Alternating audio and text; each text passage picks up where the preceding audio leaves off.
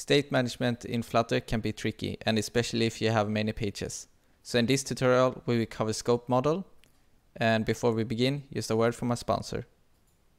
Get a free full month of Skillshare and stream more than 18,000 online classes on subjects like design, business and tech. After a while and you feel like this isn't for you, you can always cancel a subscription and not pay anything. So don't wait, try it out now. The link is in the description. So the link can be found in the description for the scope model package. And we will just follow the simple installation. So you will add a dependency in the YAML file and you will run package.get and then import it. So here I have added a scoped model dependency and I have ran packages.get. So the first thing we will do is to create a new model called user. So I just put the model in a models folder and this is just a personal preference. You can put it in whatever folder you want or however you want. Uh, so this class user will extend the model. So the model we will get from the import of the package. So this this um, tutorial will effectively show you how to change the name uh, in one page, a page, and that will update in all the other pages. So I've just set the name to a initialize the name to a to my name, and I added a getter and then a method for the change name. So this will just be a normal getter or the normal method for changing name, and we will add this notify listeners. So what notify listeners will do is to uh, essentially notify all of the components that use this name.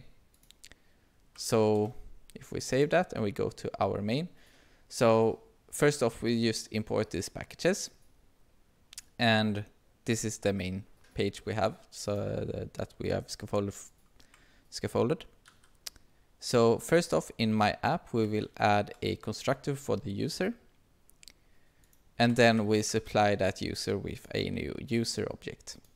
So the new user object will be the default user, this one, with the name of me. So what we'll do now is pretty much add a base place of where the, the model will be. So we will just set the scope model to the top of the application. So the scope model uh, if you control press on that, you can see that it takes a model. So we will supply that with a model and that will be the user that we got from when we first initialized this my app. So the scope model will essentially be where the model exists. And then if we scroll down to my homepage, which is this page right here, we can add something called a center and we and pretty much a scope model descendant which will look for this scope model we created back in the other page. So this will essentially listen to this scope model right here. Uh, or it will look up in the tree until it finds it. And this scope model descendant is having a property called builder with a context, child and model. And inside here, we can return the text model.name. So I can't do a hot reload right now because we had a, we have supplied a new model to my app. So this is run when we start the application. So I will just run restart the application. So now in the center we have my name and let's just add a styling to make it a bit bigger. So model.name, so model, you can name in this to whatever you want. You can have this to user or you can have this to my model or my application model or whatever you want. So then we'll just add a floating action button to navigate to the new site uh, or the page and new page will call change name page. So if we create a new stateful widget called my uh, change my name or change name page, uh, in the body, I have added a padding. And as a child of that, or let's first actually uh, create the text editor. So this new page will have a text editor in the middle where, where we can give it our name and then a button to update the name. So we have a new text editing controller called uh, name controller. And inside the child, we can have a scope model descendant, which will again look up in the tree until we find the user model. and we create the builder exactly as before and we return a column. And why we wrap the column uh, in a scope model descendant is because we will have two objects that relies on the scope model. So instead of wrapping the scope model around the button and also around the, uh, the input field, we just wrap the column inside it. So we can get uh, the user both in the text field and uh, the button. So we supply the text field with a text editor. And if I, if I update that, we can go to this new page.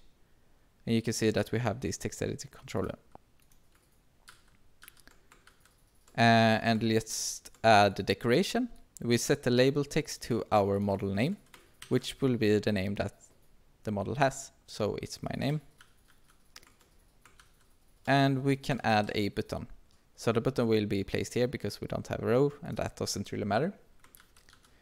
So what we can do now is on change. So when we press this button, we call the on the change name method. So if we control press on that, you can see that we pass in a string for name. We set the name of our uh, our model or user and we notify the listener. So all of the components that listens to this model will get notified of the new change. So we change the name and let's just add a set state to remove the text editing and a scaffold and just for the fun of it add a text to this button also. So if I would type a new name right now, so let's add testing. We press change name. You can see that our name, both in the label and a scaffolded uh, snack bar, shows the new name as testing. And if we navigate back, let's just close this. So if we navigate back, we can see our homepage also has testing. So instead of um, supplying our new site, this one, with a, a new constructor with the name, we can simply use the, this scope model to change all places where we listen to this name or the model. So essentially, if you have 100 pages, it doesn't really matter. The, the notifier will notify all of the pages that listen to this model and we update accordingly. So that's why a state management system is very good. And it's, as I said in the beginning, many different uh, ways to do this and many different packages to accomplish the same thing. But I thought that scope models is the easiest thing to start with. So if you like this tutorial, please let me know in the comments and uh, like and subscribe the video if you like it. And of course dislike if you don't like it. And I will see you in the next tutorial. Bye.